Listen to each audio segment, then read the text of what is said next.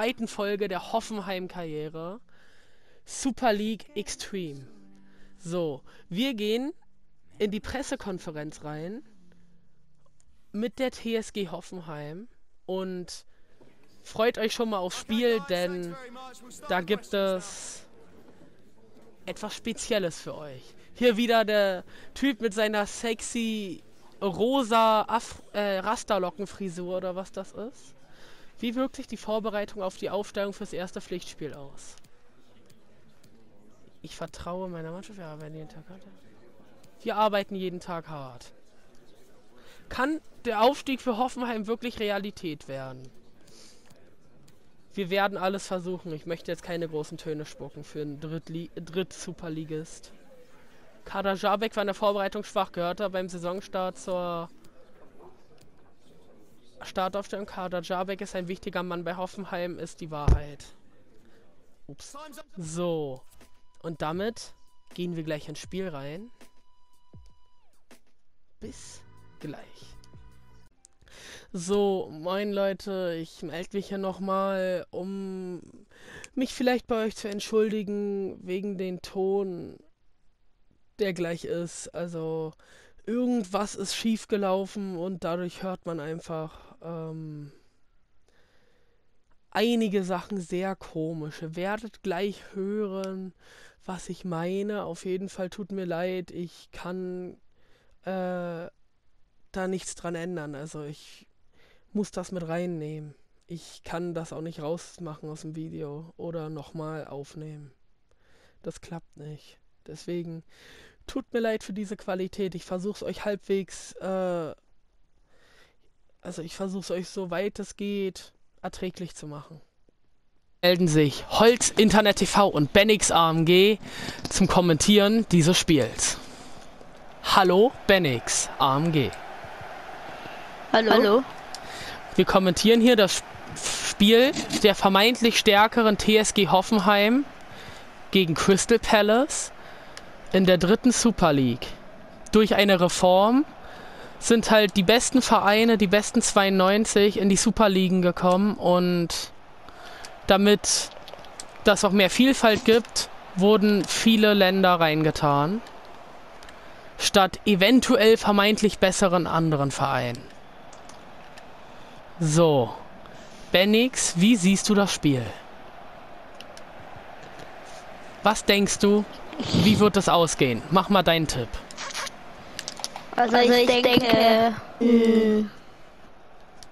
also ich denke, es wird ein 2 zu 1 geben. Für die TSG aus Hoffenheim.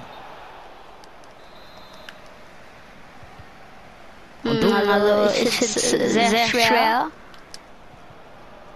Wie siehst du, was siehst du so für ein Ergebnis? So jetzt die erste Ecke. Getreten auf Kader Jabek, der vergibt. So die erste gefährliche Chance. Sehr, glaube glaub, ein, ein 3, zu 1. Ah, okay. Wie viele Tore wird Kramaric dieses Spiel schießen? Das ist die große Frage. Kramaric, der große Star von TSG Hoffenheim. Ich denke, bei meinem 2-1-Tipp wird Kramaric beide Tore schießen. Oh, hier. Ich, ich denke, er wird ein Tor schießen. Ähm, bisher sehe ich Hoffenheim definitiv vorne, auch wenn jetzt ein kleiner Vorstoß von Crystal Palace kommt. Hat Hoffenheim bisher die Nase vorne. Aber jetzt Wilfried Zaha, der Star von Crystal Palace und da steht es 1-0. Wie fandst du das gemacht? Ich fand überragend gemacht, diese, dieses Dribbling von Wilfried Zaha. Was würdest du... Ach, das war Batschua. Oh, jetzt die Chance von Hoffenheim und da ist es das 1 zu 1 von Dabur gegen Crystal Palace. Ähm, wenn, wenn sie, sie sich nochmal noch danach nochmal noch äh, Das ist 2 zu 1. Hättest du erwartet, dass Crystal Palace hier zur Halbzeit wahrscheinlich in Führung geht? Niemals, oder? Nein. Hätte der gesessen, da wäre das Stadion aber mal, hätte sowas von Kopf gestanden. Hier sehen Sie kurz die anderen Ergebnisse.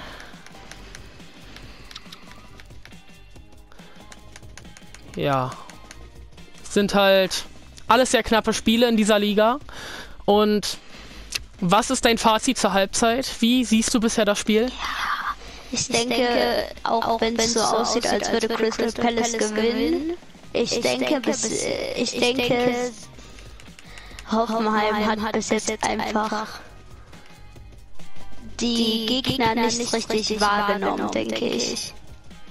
Okay, eine interessante und deswegen, These. Und deswegen, äh, aber, aber jetzt, jetzt haben, jetzt rütteln sie sich richtig wach und werden jetzt in der zweiten Spielzeit, jetzt Halbzeit, ähm, werden sie jetzt, ja,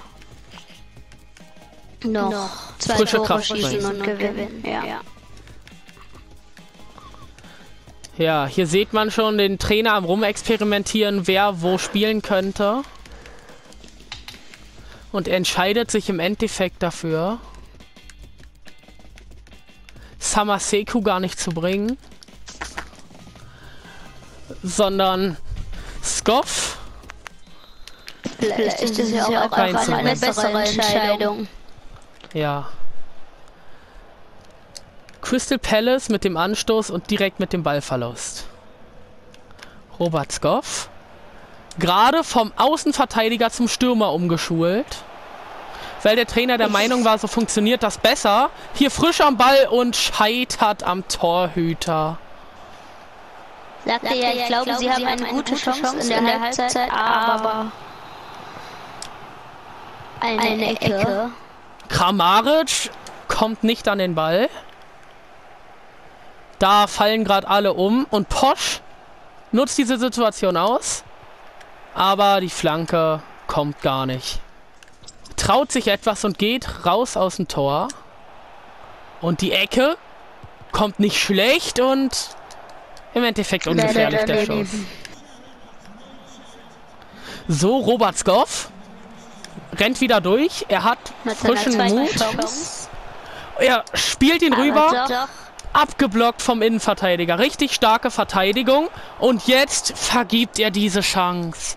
Und so langsam muss Hoffenheim hier das 2 zu 2 geschossen haben. So langsam müssen sie aus, den Ausgleich geschaffen haben. Wenn man solche Chancen nicht nutzt, kann man im Endeffekt auch das Spiel einfach nicht gewinnen. Und dann netzt er plötzlich ein. So, Kramaric, er rennt durch. Er zieht ab und kommt nicht am Verteidiger vorbei. War Crystal Palace löst das nicht schlecht und hier muss Baumann wieder parieren. Also diese Mannschaft überrascht mich komplett. Ich hätte hier gedacht, das wird ein klares Spiel für Hoffenheim. Aber Crystal Palace dreht hier komplett auf. Hm? Aber jetzt wird ich einmal Kramaric geschickt. Und? zieht ab und der ist nicht drin. Und jetzt nochmal Bebu, der ist auch nicht drin. Also wie viele Chancen brauchen die denn noch? Sehr unglücklich hier auch mit dem Aluminiumtreffer. Nach Aber so wird man das, so verliert man Minuten. das Spiel. Und das Spiel? Jetzt nochmal schlechte, äh, schlechtes Spiel von Kader Jabek. Batshuayi lässt die Zeit runterlaufen. Oder er spielt nochmal rein auf Benteke. Die sind heiß aufs nächste Tor und Oliver Baumann pariert. Wir sind schon Das in der Spiel sechsten Minute der Nachspielzeit. Oliver jede Baumann Sekunde. geht jetzt nochmal raus und hofft, diesen Ball zu kriegen, aber was macht Wird er das da dritte Tor denn? noch kommen von Crystal Palace? Nein, der Schiedsrichter entscheidet sich abzupfeifen. So, das Spiel ist 2-1 ausgegangen für die TSG aus Hoffenheim. Dann bedanken wir uns mal wieder, dass ihr dieses Spiel zugeguckt habt. Aber was noch viel interessanter ist, wie wird der Trainer Holz Internet TV auf diese Pleite am ersten Saisonspieltag reagieren?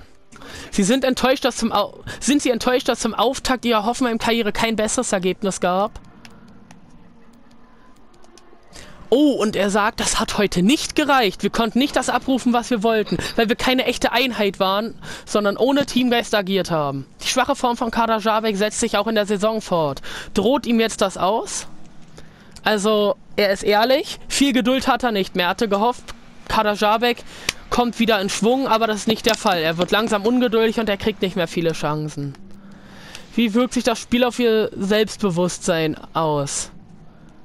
Das Selbstvertrauen fehlt.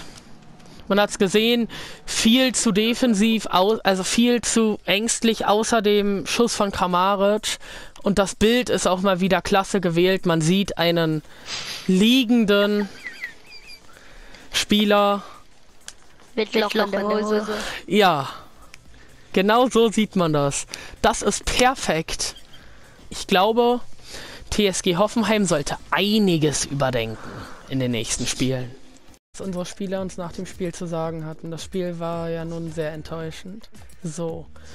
Ich bin ja kein Freund des Eigenlobs, aber ich bin mir sicher, ich hätte gegen Crystal Palace noch viel für uns erreichen können. Es war eine schwere Entscheidung, auf jeden Fall. So, Munas Dabur. Ich bin nicht zufrieden, Boss. Mit dieser frühen Auswechslung wollen Sie mir sicher eine Lektion erteilen und das, obwohl es im Spiel nicht lief. Ich dachte, ich wäre für Sie ein wichtiger Spieler. Wie sollen Sie, wie sollen ohne mich denn gute Ergebnisse rauskommen? Was sollte das? Mehr war bei dir heute nicht drin. Ich musste eine Entscheidung treffen. Ich stehe zu meiner Entscheidung.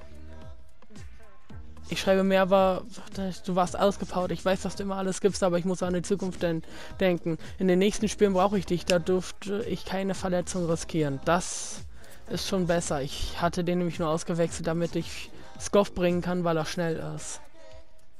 Jetzt mache ich wieder Trainingseinheiten, dann sind wir direkt beim nächsten Spiel. Im nächsten Match hält wirklich viel von uns ab. Im Moment bin ich gut drauf und ich bin mir sicher, dass ich die Position von Staphylidis viel besser ausfüllen könnte als er.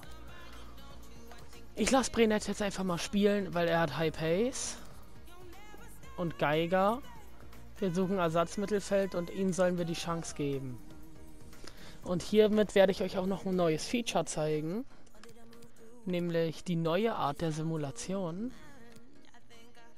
Was die so mit sich bringt. Erstmal Teammanagement.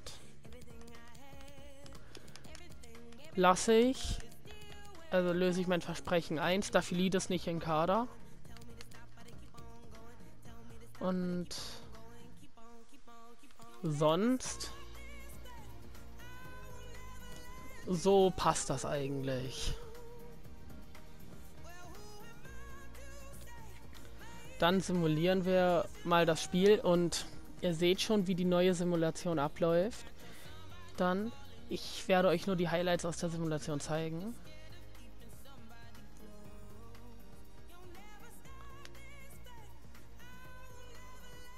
Aber das ist schon mal... Okay, es lädt ganz schön lange immer, aber... Hier seht ihr es. Man kann wirklich richtig mal komplett zugucken. Und direkt schon Hoffenheim mit dem Ball gewinnen. Wer weiß, vielleicht wird es auch direkt die erste Chance. Nein. Man kann auch immer wieder einspringen ins Match. Zum Beispiel wie jetzt. Ich drücke einfach mal Viereck und bin dann im Game kann dann jetzt ganz kurz was machen. Ja, den Zweikampf verlieren zum Beispiel und wieder zurück in die Simulation. Und da wollte ich euch auch mal fragen, ähm, soll ich dieses Feature nutzen oder soll ich immer mal wieder, äh, oder soll ich nicht immer mal wieder reinspringen ins Game? Die Nummer 10, wer war das? Dabur. Dabur macht Faxen, der, der bewirbt sich wohl dafür, wieder zur Halbzeit ausgewechselt zu werden. Gut verteidigt von Brenet und das 1-0 von Shelko Diaz. Shelko Diaz.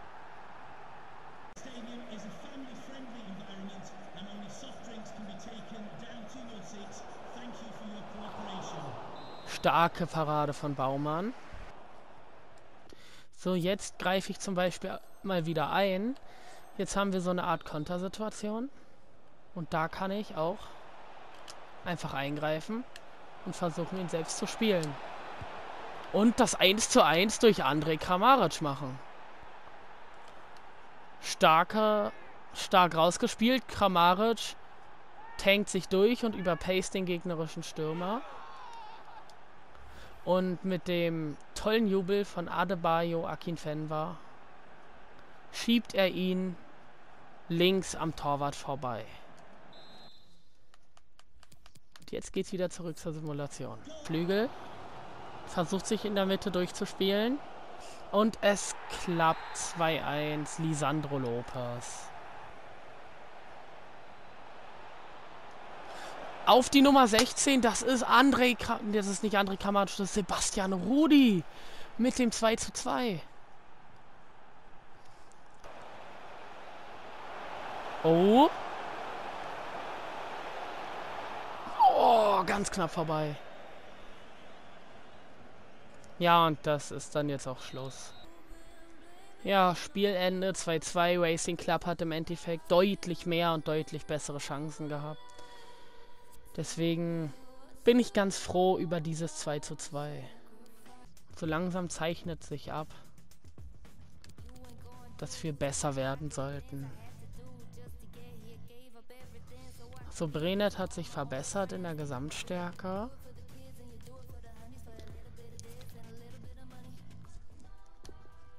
Und eine gute Form. So, Transferangebot für Grillage, den will ich zwar nicht verkaufen, aber wenn Angebot über 40 Millionen rumkommt, dann la lasse ich ihn aber sowas von gehen.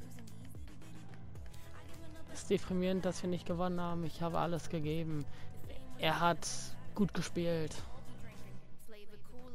Aber äh, das heißt nicht, wieso eigentlich, wieso eigentlich tun die so, als wäre die Leistung schlecht gewesen. Die Leistung war eigentlich relativ gut. So. Angebot von Granada angenommen. Ich würde das nämlich erstmal verkaufen und dann würde ich Spieler einkaufen. Der EFL Cup, ganz ehrlich, er ist unwichtig, der Carabo Cup, EFL Cup, wie man ihn auch nennen mag. Lassen wir einfach in der Schnellsimulation Und die gewinnen wir sogar 2-0. Tore durch Ilas, Bebu und Dabur.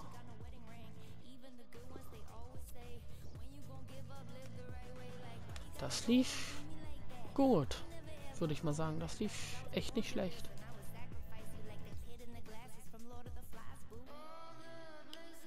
Dann wieder Training und wir sehen uns dann wieder im nächsten Spiel. So, unser Jugendspieler Donald ist jetzt vom ZM zum LM geworden, abgeschlossene Entwicklung, darüber freue ich mich natürlich. Und wir sehen, welche Gesamtstärke haben wird. Eine 49 ist eine Verbesserung um 2. Außerdem ist er auf der linken Seite als Rechtsfuß, womit ich auch schon mal zufrieden bin. Wir machen ihn zum aushelfenden Mittelfeldspieler, damit sein Pace einfach noch mehr hochgeht. So. Dann meldet sich noch Geiger bei mir. Letztlich werden sie sich einen Ersatzmittelfeldspieler suchen. Ja, das ist deine Chance. Baumann möchte sich bei mir bedanken. Jetzt ist es besser. Jetzt ist alles wieder im Lot. Also er hat sich halt eine Kursfassung, er hat sich beschwert, dass es äh, Spannung im Team gab. Jetzt hat er sich wieder bedankt, dass ich, äh, dass er mit mir sprechen konnte und ich das so offen aufgenommen habe und jetzt sind alle glücklich. So, wir spielen gegen Platz 1 der EFL League One und dazu wird es jetzt gleich was Spezielles geben. So, herzlich willkommen bei Hoffenheim Fan TV zu unserer Partie.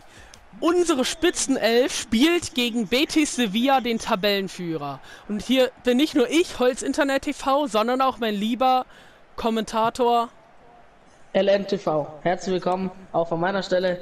Heute die heutige Partie zwischen Hoffenheim und Betis Sevilla. Ich bin gespannt auf diese Partie. Könnte ein enges Duell werden.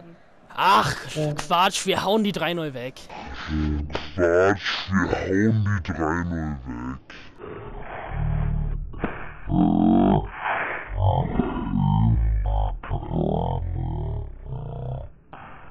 Komm.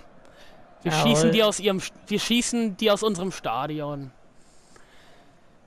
Ja, Baumann, du kannst das. Perfekt. Schon mal gleich siehst, siehst du, wie die alle Angst vor dir haben.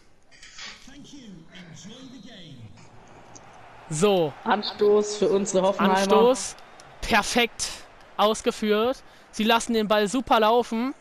Daraus wird jetzt noch bestimmt ein Tor.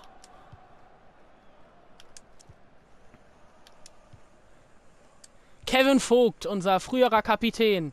Nur unser Trainer hat einen Geistesblitz gehabt und gesagt, Olli Baumann hat die Kapitänsbinde mehr verdient. Was hältst du davon? Ja, auf jeden Fall. Baumann ist auch ein Führungsspieler in Hoffenheim. Spielt jetzt auch schon eine Ewigkeit bei Hoffenheim. Und der erste Angriff? Och, mach den doch rein! Da wäre Kramaric fast zur ersten Großchance gekommen. Ja, Spieler im Fokus sind auch unsere Nummer 27, Andrej Kramaric, der beste Spieler, den es derzeit gibt.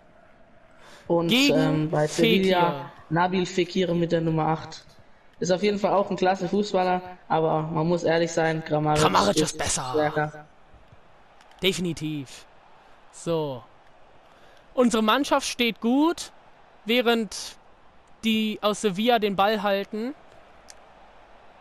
Oh, Hübner wagt einen Ausflug, der aber belohnt wurde. Er Rudi weiß halt einfach, wie an. man das machen muss. Rudi, er hat Bock, er hat Ideen. Er hat auch extra, um bei unserer TSG zu spielen, auf mit Tempo und den Chip in die Mitte. Kramaric mit der ersten guten Chance. Doch Claudio Bravo fängt den Ball sicher. Er fängt den ganz schön bravo, was? Badum. Richtiger Schenkelklopfer. Ja. So komm schon. Sebastian Rudi, der zeigt hier was. Der hat extra auf zweieinhalb Millionen im Jahr verzichtet, nur um bei unserer TSG aus Hoffenheim zu spielen. Das ist natürlich Einsatz für die Mannschaft. Ein Daran merkt Ehrenmann. man, dass er die Mannschaft liebt. Ja, er Kader Jabek mit einem. Fehler, den Hüber, den Hübner ausgebadet hat. So, hat Kramaric er wollte ihn rüberspielen, aber irgendwie hat das nicht geklappt. Ich glaube, er hätte mehr frühstücken sollen. Wie siehst du das? Ah, ich glaube, der hat nichts gefrühstückt, aber der macht trotzdem heute seine Hütte. So, Kader Jabek. Was für Stark. eine saubere Grätsche von Kader Jabek, der jetzt auch schon Boah, was einige für ein Tackling. Also, bei uns Also- spielt. Bebu mit Tempo über den Flügel. da ist man schon Jetzt kurz vorm Kommen bei der Grätsche. Bebu mit dem Chip in die Mitte. Also, Leider. jetzt ehrlich, zu der Grätsche, da kommt man schon fast, oder? so, auf unsere Nummer 27, der trifft den eigentlich gut, aber dann wird er abgeblockt. So, Hübner auf unsere Nummer 27, Andrej Kramaric, der es aber nicht ganz hinkriegt, den Ball rüber zu. Jetzt Andrej Kramaric holt Äh, eine Ecke für uns raus. So, Sebastian Rudi lässt jetzt mal Staphylides den Vortritt. Und der bringt den richtig gut auf André Kramaric. Das 1-0. Ach nee, Dabur. Dabur? Echt? Dabur mit dem 1 zu 0 für uns. Keine Ahnung. Dabur, ja. Ja, Mann. Ich konnte das aus der Distanz nicht erkennen. Und er macht den Akin Fenwa-Jubel. Hey, Wichtiges hey, Tor, hey, überragendes Tor und mit dieser hey, Leistung. Hey, hey, okay, sorry. Habe ich mich ein bisschen mitgehen lassen. Das ist die erste Führung in dieser kompletten Super League. Jonas Dabur. Wichtiges Tor für die TSG. Das pusht die Moral auch noch ein bisschen. Ja, Sebastian Rudi. Oh, Betis Sevilla weiß gar nicht, wie sie hier durchkommen können heute. Noch nicht einmal durchgekommen. Einmal war es kurz davor und dann hat Kader Jabek diese Monstergrätsche gemacht. Fekir. Kein Wunder, warum er Ersatzkapitän ist. Ey, Schiri, das war doch nicht. Freistoß für Betis. Das war doch nichts, oder? Komm schon. Fekir! Der geht an den Pfosten, aber Was ein Pfostenkracher, aber selbst hätte wenn Baumann eh in gehabt. Richtung des Tores gekommen wäre, unser erfahrener Mann dort hinten zwischen den Pfosten, hätte den entschärft. bärenstark gemacht. Da könnte André eine Chance Kramaric. entwickeln. Kramaric, schieß! Er legt ihn rüber und den hält er. Den hält Claudio Bravo. So, jetzt gehen wir in die Halbzeit. So, dein Fazit bisher zu dem geilen Auftritt unserer Mannschaft? Ja, auf jeden Fall starker Auftritt bisher von der TSG. Betis hat sehr schwer Räume zu finden und durchzukommen, kann selten Chancen entwickeln und die TSG spielt bisher ein sehr gutes Spiel, verteidigt stark mit Offensivstrang und ja, weiter so machen. Ja, dafür wäre ich auch. So, jetzt sehen wir, welche Umstellungen eventuell gemacht werden. Und zwar Posch kommt in die Partie. Dann kommt noch Skoff, aber diesmal nicht in den Sturm, sondern auf den linken Flügel für Jakob Brünn Larsen. Der das Spiel, naja, ich möchte jetzt nicht sagen, er hat schlecht gespielt, aber er war auch nicht gut. Nicht so auffällig, meiner Meinung nach. Ja, Dabur ist ein Gott bisher und hat auch das 1-0 für uns erzielt. Und so geht's auch weiter. Weiter in die zweite Halbzeit. Die zweite Halbzeit wird angestoßen von Sevilla. Und Hoffenheim macht direkt Druck. Oh, das war aber gerade nicht so gut von Sebastian Rudi. Fekir. So. Wendet den Raum auf Canales. Staphylidis auf Canales, der hat ihn perfekt gedeckt mit seiner Grätsche. So. Fekir, perfekt von Vogt. Vogt, der war ja letzte Saison, die halbe Saison zumindest an Werder Bremen ausgeliehen, aber jetzt ist er wieder in der Startmannschaft. Was hältst du davon? Starkes Comeback, Ja. oder? Ja, Vogt ist auf jeden Fall ein sehr guter Fußballer, hat auch schon öfters bewiesen, dass er auf jeden Fall in die erste Liga gehört. Ähm, ja. Och, Und- das 1 zu 1, was habt ihr denn da gemacht? Fällt das 1 zu 1 durch Nabil Fekir. Noch so ein Ding und du verlierst die Kapitänsbinde, Baumann. Ja, auf jeden Fall gut rausgespielt, aber auch schwer für Baumann zu entschärfen. Ja. Sehr schwer. Und Aus so einer Jetzt- kurzen Distanz natürlich so ein guter Fußballer wie Fekir da. Der den auch noch trotzdem auf den den linken schon mal Fuß kriegt. können. Ich hätte gedacht, dass unser Kapitän den hält. Jetzt auch wieder den Ball verschenkt, also was soll das? Die Halbzeitumstellungen haben sich bisher überhaupt nicht bezahlt gemacht. Jetzt werden wir wieder überspielt, aber Kader kommt zurück mit einer Monstergrätsche, aber dann steht er zu spät auf. Fekir. Stark! Klasse verteidigt. Jetzt Bebu. Auf Kramaric. Auf Dabur. Oh ne, Dabur. Ja, aber Dabur. Ja, die beiden sehen von der Distanz sehr ähnlich aus. Richtig stark, von Wolle. Stark, starkes Tackling. So eine Dinger müssen unsere Jungs machen. Och nee, warte doch nicht, bis unsere Nummer 10 im Upside steht, auch wenn das richtig geil gemacht war von Dabur. Trotzdem. Da kann man ruhig früher abspielen. Und Sevilla wechselt jetzt. Borja Iglesias kommt in die Partie.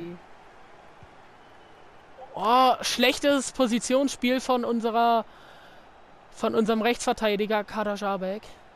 Deine Meinung zu Borja Iglesias? Ja, kein schlechter Mann. Der uns Er das macht hier 2-1 direkt das. Tor. So langsam sollte der Trainer was anderes versuchen. Es lief in der ersten Halbzeit gut, dann was die bisher liefern in dieser Halbzeit ist eine Frechheit. In der zweiten Halbzeit kaum Offensivdrang. Genau das, was in der Halb ersten Halbzeit sehr gut war. Dabur? Das war ein Sie Foul. Kommen sie in der zweiten Halbzeit noch nicht richtig durch. Sevilla stellt hinten gut zu. Aggressiven Fußball. Ja. Aber das war ein Foul. Also Dabur zaubert da Und, und richtig stark von Baumann. von Baumann. Jetzt wäre es wichtig, nochmal eine Großchance zu entwickeln und den 2-2 Ausgleichstreffer zu machen. Dabur. Ja, und Auf geht's. Dabur kümmert sich drum, aber Claudio Bravo hält den. So, komm. Auf Iglesias. Perfekte Grätsche. So will ich das sehen. Sie bleiben dran. Sie pressen richtig stark. Iglesias. Und das Drei, dritte Ding. Eins. Mit Iglesias haben die wirklich eine klasse Auswechslung getätigt. Der Sieg eigentlich für Sevilla so gut wie sicher. Der Wechsel von, Sevilla, äh, von Borja Iglesias hat sich auf jeden Fall gelohnt. Ja. Viertes Tor schon von dem Spanier. Der ist auf jeden Fall in guter Form. Leider Fall. ist unsere Nummer 38 noch nicht so in Form, aber der kriegt auch kaum Pässe, um Tore zu schießen, unser Kramaric. Wenn er genug Pässe bekommt, ist er einer der Besten der Welt. Aber ohne die nötigen Pässe. Und was war das für ein Fehler von Vogt? So kannst, wenn du so weitermachst, kannst du direkt wieder zurück nach Bremen. Dabur. Können Sie noch mal Treibt den den Ball an. Anschlusstreffer machen? Kramaric komplett lost von beiden gemacht. Hilfe! Was macht unsere Mannschaft da? Och nee, jetzt ist wieder Nochmal Iglesias Chance durch. Sevilla. Iglesias mit dem Dragback in der Ballrolle. Carvalho! Und das 4-1 und jeder aus Hoffenheim sieht da so schlecht aus. Das Spiel ist aus. Betis Sevilla gewinnt mit 4 zu 1. Dein Fazit zum Spiel? Mannschaft. Ich bin einfach nur sauer. Ich bin enttäuscht. Wir haben hier eine richtig gute Ecke. Da hat Rudi Staffelidis den Vortritt gelassen. Da war richtig, richtig, hat man richtig gesehen, was unsere Spieler eigentlich für Brüder sind. Auf Und jeden dann- Fall, die erste Halbzeit war sehr, sehr stark von der TSG. Und die dann, zweite Halbzeit war das komplette Gegenteil. Hier? Wie die sich hier ausnehmen lassen. Das war, war auch gut gemacht von Betis, aber das war peinlich von unserer Mannschaft. Und hier von Iglesias, ich meine, Posch ist da zweimal zu spät oder war das Vogt? Ne, Vogt war da zweimal zu spät und er ist einfach durch. Das dritte Tor, genau das gleiche. Die verkacken das irgendwie und dann verschätzt sich Baumann auch noch in der Ecke. Das vierte brauche ich nichts zu sagen. Das ist eine Frechheit. Man Was muss machen ehrlicherweise die hier? sagen, es ist verdient, dass Sevilla das Spiel am Ende gewinnt, aber nicht in der Höhe. Nichts Die da. zweite Halbzeit, Guck dir die Statistiken an. Das war ein ausgeglichenes Spiel. die zweite Halbzeit war echt lächerlich von Hoffenheim. Im Ganzen würde ich schon sagen, wenn man die zweite Halbzeit schon sieht von Hoffenheim, jetzt, ja, aber die erste Halbzeit war echt stark, muss man sagen. Und der erste Jetzt Halbzeit verweigert unser Trainer auch noch die äh, Pressekonferenz. Kann ich aber auch verstehen. So, damit verabschieden wir uns vom Spiel. Holz Internet TV und LNTV. sagen euch Tschüss. Bis zum Ciao. nächsten Spiel von Hoffenheim Fan. So, da sind wir wieder nach diesem äußerst enttäuschenden Spiel. Wenigstens eine gute Nachricht. Unser Jugend ERV kann wieder zum IV werden und verändert rein gar nichts. Ich glaube, ich sollte den Blödsinn irgendwann mal lassen. Bei sowas. Egal, ähm. Also, was soll man zum Spiel sagen? Wir, wir haben gut gespielt bis zum 1-0 und dann haben wir einfach komplett aufs Schnauze bekommen. So, dann würde ich sagen, wieder Training. Nee, doch nicht. Die Einheiten habe ich sogar gespielt. Dann simulieren wir mal das Spiel gegen Valencia. Oh, wow, oh, wow, wow, Grillage. Da gehe ich aber auch noch mal in die Verhandlung.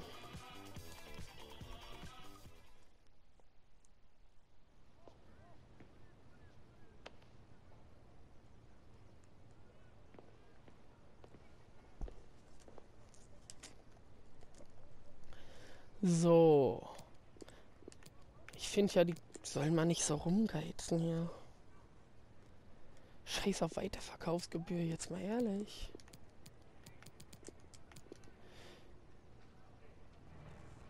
Gut, 35 Millionen, ich wollte schon sagen. Lazio Rom harzt ja auch nicht unbedingt unter einer Brücke, also. So, dann gehen wir gleich rein in die Simulation gegen Valencia. Vorher ein Transferangebot für Joshua Brennett. Aber ich habe kein Interesse, ihn zu verkaufen. Deswegen, naja. Auf jeden Fall gehen wir rein ins Spiel gegen den Tabellendritten. So. Da gehen wir rein in die Simulation. Valencia CF gegen TSG 1899 Hoffenheim. Hoffen wir mal, dass unsere Jungs da was holen. Ich hätte keine Lust abzusteigen, nachdem wir Aufstiegsambitionen gezeigt haben.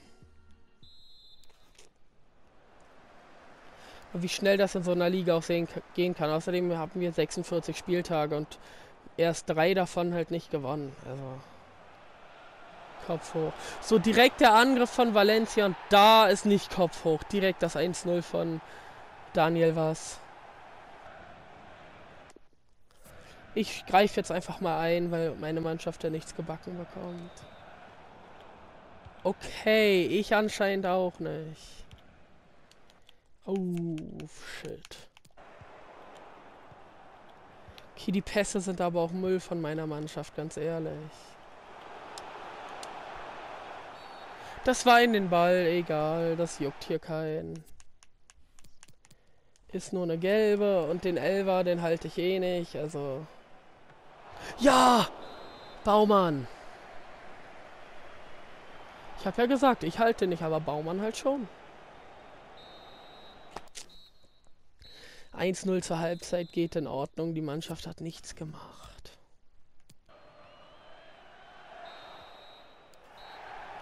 Wow. Für die ganze Halbzeit der Ball nicht mal ins Ausgekommen ist. Ist Müll.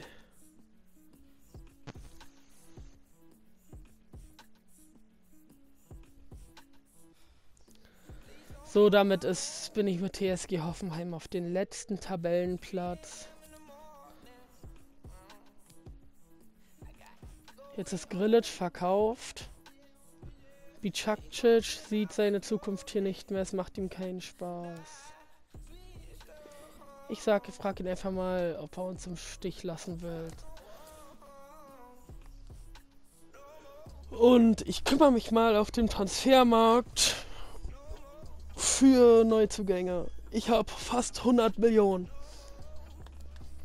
Da muss es doch den einen oder anderen Spieler geben, den man sich da holen kann. Wir sind dann wieder zurück. So, da haben wir unser Neuzugang. Luis Alberto kommt zu uns für nur, okay, was heißt nur, 77 Millionen Euro. Damit haben wir einen Neuzugang im Mittelfeld, nachdem wir Grillitsch verkauft haben, der ihn besser ersetzen kann. So, statt Samaseku haben wir halt jetzt Luis Alberto, sehr offensiv, aber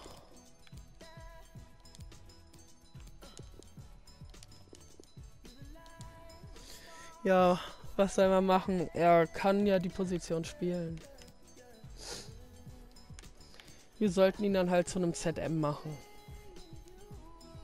Auf jeden Fall ist das gerade ein guter Neuankömmling, auf den auf jeden Fall mein Auge liegt. Und ja, ach ja, ähm, ich habe im Spiel, in einem Spiel gemerkt, bei Entwicklung. Ach man, ich kann das ja nicht tauschen. Die gehen ja jetzt neuerdings immer mit den Spielern mit, äh, dass Robert Skoff ein viel besserer LM wäre.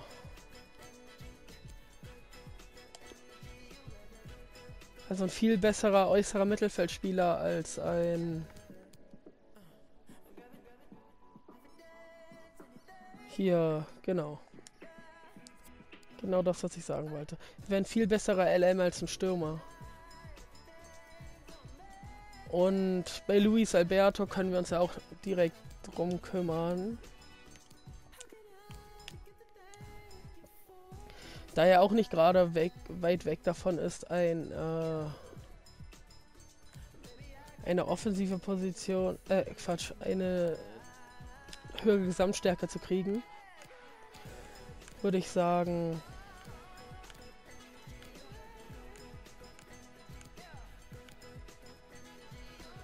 Dynamo? Ja, kaum. Dynamo.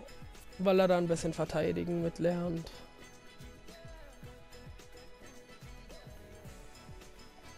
damit war es das auch schon und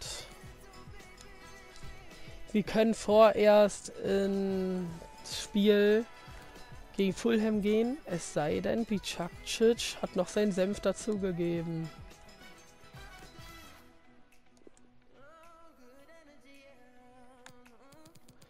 Er hat sich nicht wegen meinem Gehalt gemeldet. Wegen seinem Gehalt gemeldet. Außerdem hat er gesagt, dass er weg will. Also kann ich nicht mal in der Theorie seinen Ge Vertrag verlängern. Ich weiß nicht, wie er sich das vorstellt. Und aber okay. Und ach ja, was ich meinte mit, äh, er ist auf der Außenseite besser aufgehoben. Er hat im LM einfach höhere Pluspunkte als im Sturm. Und damit würde ich Scoff im LM spielen. Man sieht, er hat sogar zwei mehr. Okay, er ist auch ein guter LM. Muss man nicht sagen von den Stats her. Das sind perfekte LM-Stats. So, dann würde ich sagen Schnellsimulation. Denn die gewinnen wir hoffentlich mit 1 zu 0. Ilas Bebu. Stark, Junge. So ist es doch schön dann würde ich mich sogar erstmal von dieser Folge verabschieden, da im Format Super League viel mehr Spiele stattfinden als ähm, normal. Mache ich die zwei Saisons nicht durch, sondern die nächsten beiden Spiele gibt es auch erstmal in der nächsten Folge. Darunter ähm, gegen Juventus Turin. So. Ich sag Samaseko mal, dass ich das Team wöchentlich ändert und ähm, ja, gegen Juventus Turin lasse ich mir noch was Besonderes einfallen für dieses Spiel. Und dann vielen Dank für, dass ihr eingeschaltet habt. Euer Holzinternet TV verabschiedet sich von euch. Tschüss. Ja, und hier nochmal sorry, dass, dieses dass diese Folge so ewig lang geworden ist. Ja, aber ähm, ihr könnt mich vielleicht verstehen. Ähm, es ist etwas schwer, wenn plötzlich die dreifache Anzahl an Spielen im Monat ist, als man sonst gewohnt ist und man was Spezielles draus machen möchte. So, ähm, Außerdem war das mit Hoffenheim Fan TV doch sicherlich witzig. Also, ähm, ich würde einfach mal sagen, ich hoffe, die nächsten Folgen kriege ich besser hin und nicht so lange. Und seht das einfach als Doppelfolge. Vielen Dank fürs Zuschauen und ciao.